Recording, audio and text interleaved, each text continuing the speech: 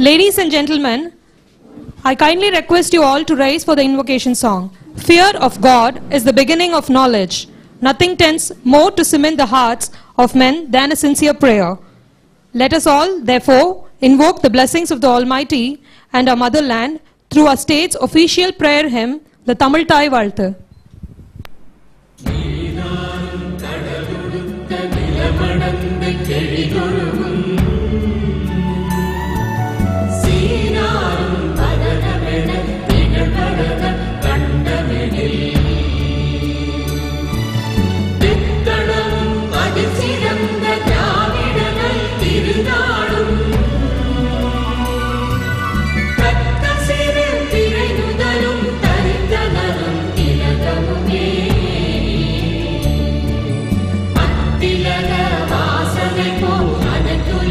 yeah.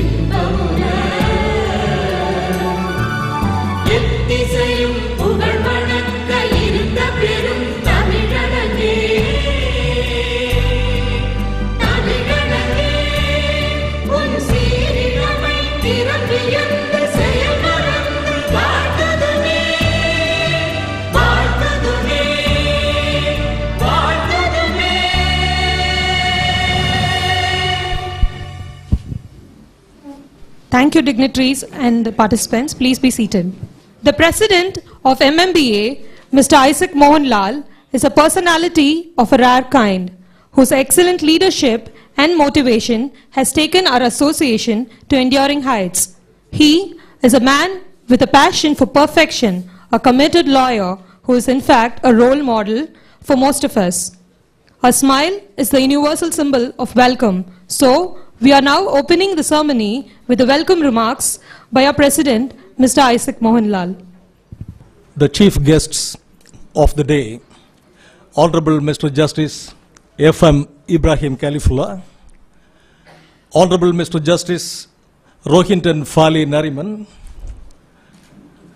our beloved administrative judge, Honorable Mr. Justice S. Tamilvanan, our beloved senior judge, Honorable Mr. Justice V. Dhanapalan, Honorable Mr. Justice S. Nagamuthu, Honorable Mr. Justice Hari Parandaman, Honorable Mr. Justice Ravi Chandra Babu, Honorable Mr. Justice B. Rajendran, the President of Women Lawyers Association, the Assistant Solicitor General Mr. G. R. Swaminathan, the government law officers, the registrars, administration and judicial, our past presidents, the President uh, of Women Lawyers Association, Nisha Banu, and Secretary Elil Silvi, and the other officers of as- associations, my beloved members of MMBA, the respected members of the press, ladies and gentlemen.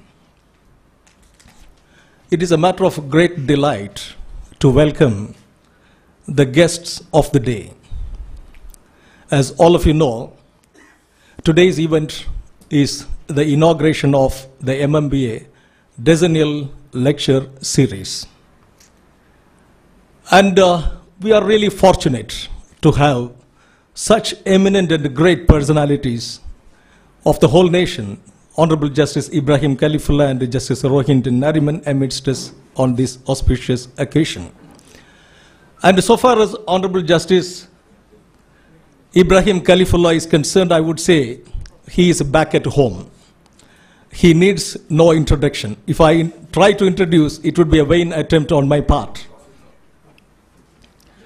And uh, it is all because of Honorable Justice Ibrahim Kalifullah, we are able to get the other chief guest of the day, Honorable Mr. Justice Rohinton Fali Nariman.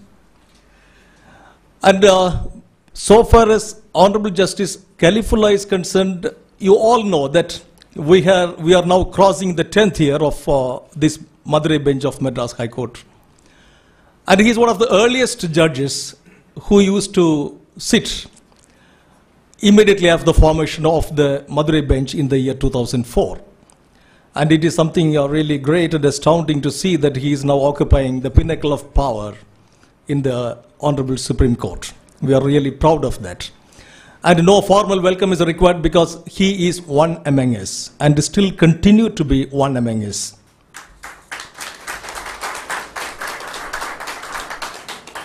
And coming to Honorable Mr. Justice Rohinton Fali Nariman, I would, with great respect, say that he too doesn't require any introduction because he is such a great legal luminary, shining permanently just like the northern star in the firmament of law across the country. Why across the country? It's across the whole globe. And uh, he is one among the youngest stars that entered the galaxy of legal luminaries in the country, or for that matter, in the whole world. I had occasions to witness to his arguments, and I'm really fond of his orations. And one would be simply amazed listening to him. God has endowed him with such a phenomenal memory, an astounding power to recapitulate things point by point, and with such a great power of delivery, delivery with tremendous power of articulation. Just he would keep everybody spellbound all around for some time. That is the hypnotic power of his oration. And to his lordship's intimation, I would say that over the past one hour, we have been listening and uh, witnessing the speech delivered by him sometime in the year 2007 in the very law college where from he got the law degree. That is uh, Campus Law Center, Delhi University, on the topic Schedule 9, maybe soon after the delivery of the judgment uh, by the Honorable Supreme Court in Coelho's, Coelho's case. And uh, it is really fortunate, and we are all blessed today to have such a man here. And you would be really, uh, um, really amazed to hear him. And I often wonder that maybe he is the person uh, who is now who is described by William Shakespeare as a rare piece of work through the mouth of Hamlet, the Prince of Denmark. What a piece of work is man! How noble in a reason, how infinite in faculties, in form and moving, how express and admirable, in action, how like an angel, in apprehension, how like a god, the beauty of the world and the paragon of animals. And probably Shakespeare had him in mind when he described man as a very rare piece of work.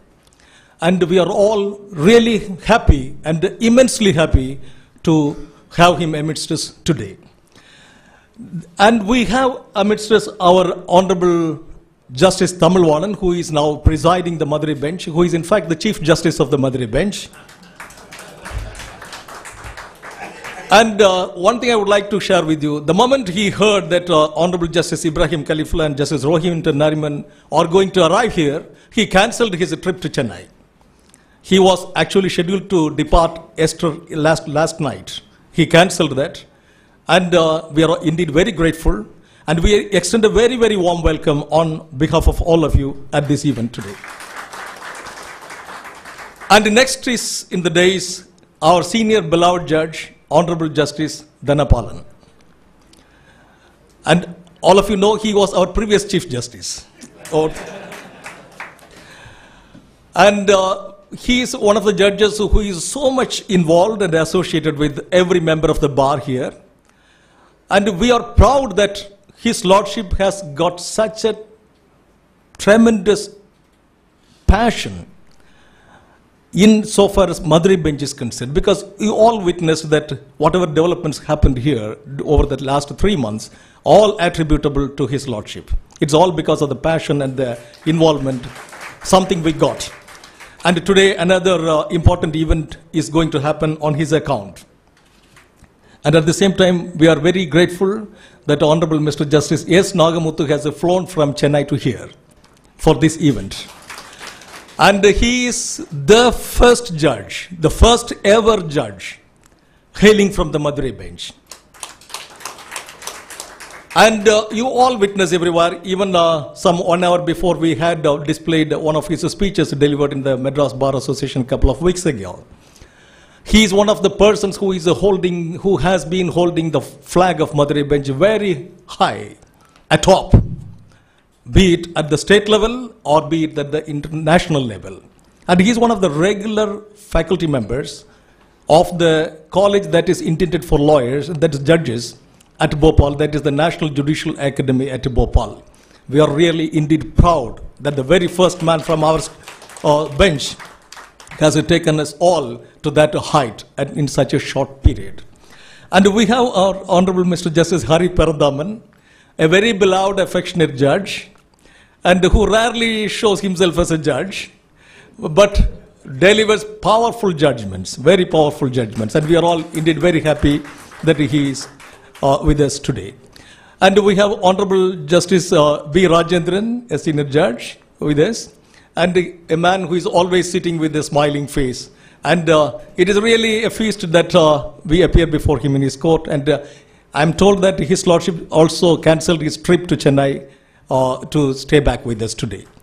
And we extend a very warm welcome. And Honorable Mr. Justice Ravichandra Babu, an ever smiling judge, and who is sitting on the rich side now. And he also postponed his trip to Chennai for this program. And uh, sir, we are really very happy to have your lordship here amidst us. And we have all our senior lawyers and uh, um, office bearers of other associations and members of the press, everyone here. And I'm sure that we are going to have a very, very, very fascinating time right now. We have two other events today. One is the last Law Day lecture was delivered by Honorable Justice V. Dhanapalan. And the speech was on the topic independence of judiciary, probably a very sensitive topic of the day in the wake of the present amendment to the Constitution and the enactment of the laws. And I don't want to elaborate on the topic because it won't be appropriate for me to do this at this stage. The independence of judiciary, the topic delivered by Honorable Justice uh, V. Dhanapalan, attracted such an immense uh, response. And the members requested the office bearers of the association, why don't we publish it? And then we immediately agreed to publish it. Today we have a small booklet containing the entirety of his speech. And that would be released today by Honorable Mr. Justice Ibrahim Kalifullah. That is the program number one. Next is the unveiling of the portrait of Sri M.K. Nambiar. You all of you know that M.K. Nambiar, I would say, the first constitutional lawyer from the Madras Bar. And today we are planning to unveil the portrait at the hands of His Lordship Justice Rohinton Nariman. And I deem that he is the most appropriate person to unveil the portrait of M.K. Nambiar. In 1950, shortly after the constitution was put into operation, there was a man from Chennai flying to Delhi, arguing before a large bench of judges, holding the bare act of the constitution without any past precedents to support his arguments, because it was just the constitution came out. No past precedents. Holding the bare act, he was taking the court article by article, phrase by phrase, and word by word every part of the whole of the fundamental rights were threadbare analyzed by him. The judges were really astounded at his acumen. Probably he had a wonderful education in England on uh, that uh, he did his LLM on comparative constitutional law. But anyhow, arguing a lengthy constitution, that in a democratic setup like India, was a very uh, difficult affair at that point of time. The judges at the end of the day did not agree, whatever he argued, because he was trying to argue Article 21, though it contains the phrase procedure established by law, he wanted the court to read the procedure, that due process clause into it. He said, though literally it reads like that, but the spirit is principles of natural justice. Every act of the state must stand to the test of justness, reasonableness, and fairness. And he wanted to read the due process clause into it. Supreme Court of India rejected his argument. But what happened? About 28 years later, the very same Supreme Court thought it fit what that what M.K. Nambiar argued in 1950 is the right law. In 1978, in the Maneka Gandhi's case, the Supreme Court accepted all that was argued by M.K. Nambiar in A.K. Gopalan's case in 1950. And such a great man hailed from us. It is a matter of great pride and status for us. And today we are going to unveil his portrait. Not that we would like to look at his face, he is looking very uh, uh, grandiose, he had a grandiose face or like that. We want to have portraits like this because we would always get inspiration from him. We would, the moment we look, or any time we look at his face, we will get some inspiration from him. Innate inspirations will start emanating. And this is the purpose of keeping the portrait. Don't think that the people, he is no more. Therefore, his verses are no, no longer relevant. It is not like that. It is the famous lines of T.S. Eliot.